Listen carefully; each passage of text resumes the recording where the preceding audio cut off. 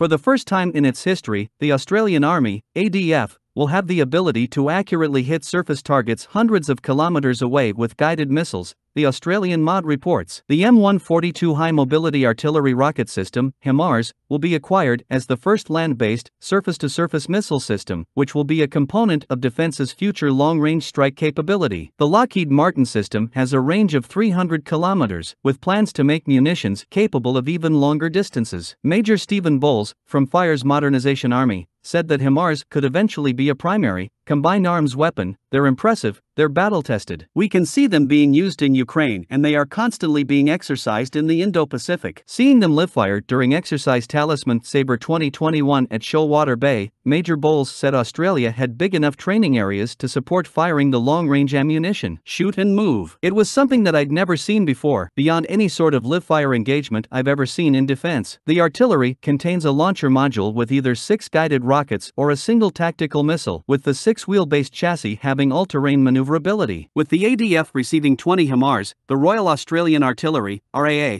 will increase its force. We do plan to grow the RAA by one battery in phase 1 of the acquisition, Major Bowles said. In later phases, we're looking to grow to an additional regiment over the next decade. It'll reinvent how Army fights. We currently operate by fires supporting maneuver. After HIMARS, it'll potentially be maneuver supporting fire. The initial delivery is due in 2025, with the final operating capability planned for 2029.